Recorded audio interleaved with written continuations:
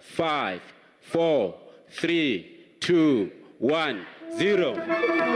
Make noise, make noise. South Africa's football legends ringing in the day's trading at the Johannesburg Stock Exchange.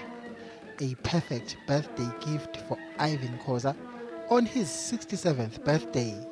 It was on this day, many moons ago, that I was born. I therefore feel doubly blessed that this great recognition by the Johannesburg Stock Exchange is happening on my birthday. The occasion also had a special significance for Kaizer Chiefs boss Kaizer Motaung. My first full time job after I left school was at the stock exchange.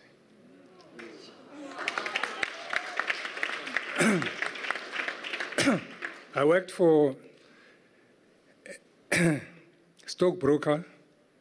The name of the, of the firm was uh, Max Pollack and Fremantle. And it was uh, at the old stock exchange at Hollard Street.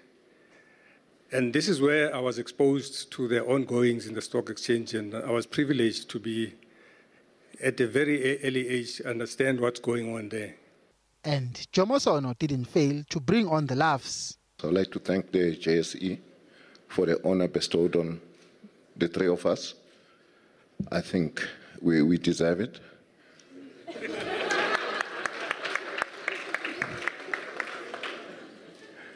but uh, my only concern with the JSE and the board, what I was not happy about was the JSE has told Kaizer and myself that they support pirates. Look at the colors. You know. The JSE hopes soccer players and the general public will be inspired to invest money in the local stock market. Mbongeni Muthwa, SABC News, Johannesburg. 2015